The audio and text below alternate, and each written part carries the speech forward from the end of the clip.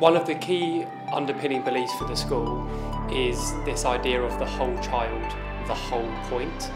And with that, we truly believe to give the children a well-rounded curriculum where the children at our school simply love coming to school.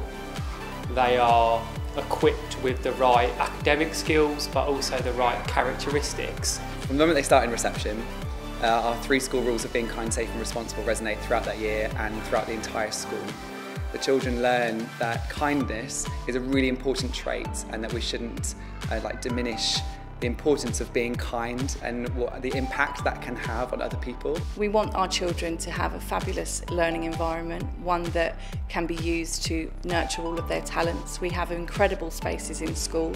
The building itself is beautiful and it fulfills our ethos of the children learning all of the time. As a staff, we've carefully designed our curriculum so that children acquire the knowledge and the skills that they need to reach their full potential. I think the schools are great. They have really good activities in store for us. Definitely one thing is that they've stretched me out of my comfort zone.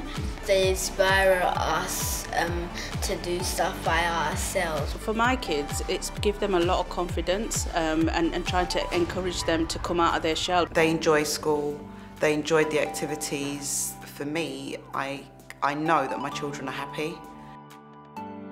The 11 Before 11 initiative are 11 promises that we have created that our children experience from when they join us in reception to when they leave us in year six to go to secondary school.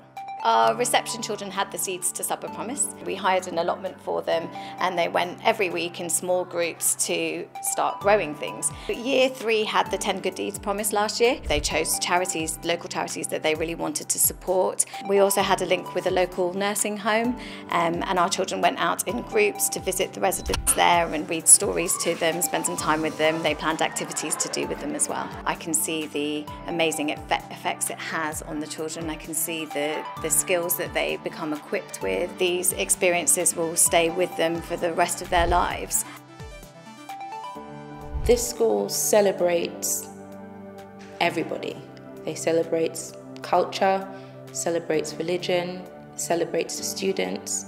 You know, they've got different ideas on how to keep the school kind of like a community rather than it just being somewhere you drop your kids and pick them up from. There's a very clear effort to safeguard our kids here. I can, I can see that by the way that my son comes home from school being happy most days. We want every child to be happy here. It's our ultimate goal that children come in every day loving the school that they belong to. We want them to engage actively in their learning, to be proud of what they achieve and to go on to achieve great things. I think the key thing for us is making sure that both what happens both within the classroom and that sits around the classroom, all of that enables our children to be well rounded when they move on and they've got these incredible opportunities that they will remember forever and, and that they can cherish.